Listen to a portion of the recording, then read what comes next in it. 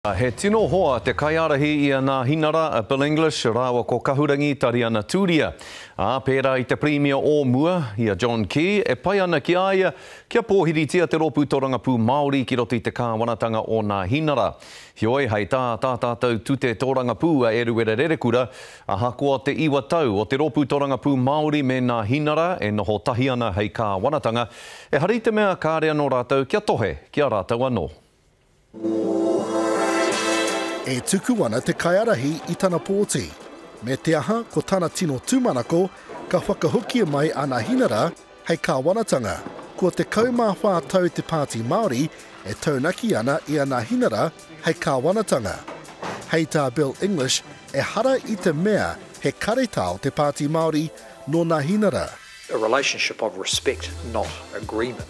So they have been able to achieve an awful lot with quite complex areas, multi-language strategy, the long big discussion about Te Tura Whenua, uh, speeding up of the treaty process, the Māori housing network, the various packages for addressing low incomes, particularly the family incomes package in this last budget.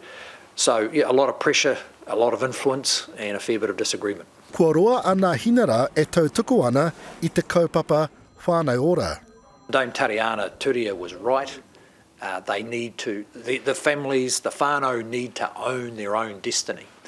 And uh, whānau ora has turned out to have earned, I think, broader political support because of that reason and we will continue to support it. Ko tētehi o ngā whakatutukitanga nui a Nāhina rā, i ai ki a English, ko ngā whakataunga Tiriti, engari, kāore anō kia oti noa taua mahi.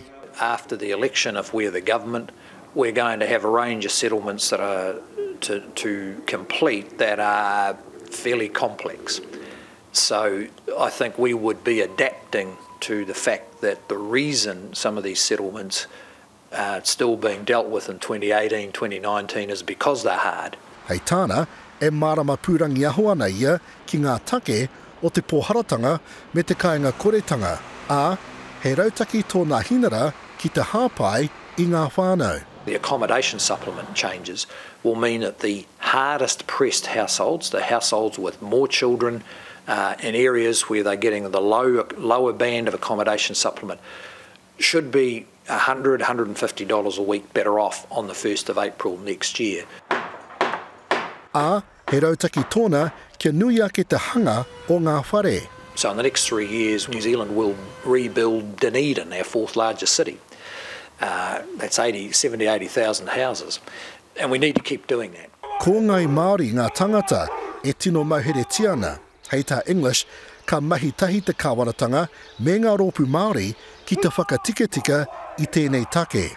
In the budget where for instance we want to focus with iwi and whānau on a group of sort of fourteen to sixteen year old young males, too many of them Māori, we're willing to spend a lot of time and effort on those young people to change the course of their of their lives. I te mutunga iho, he kōrero tōtika tōna ki ngā kaipōti Māori. Because we want to see more opportunity for our young people and our families to do better and not be relying just on the government program we're there to support.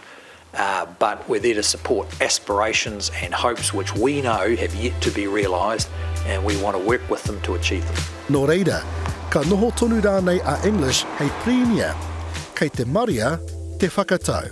Iriwere Rerikura, Te Karere.